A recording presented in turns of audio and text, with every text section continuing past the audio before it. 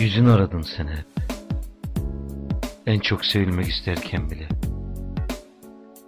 Bir bulsan yüzünü, bir bulsan insanlara dağıtılmış hasretini, istediğin gibi sevecektin.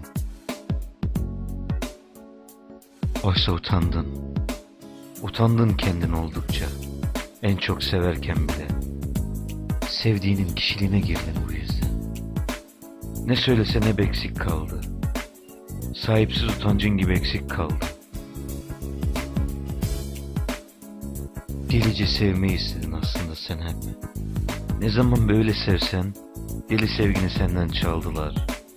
Ne zaman söylesen sevgini, seni seninle böyle yüzünü ararken bıraktılar.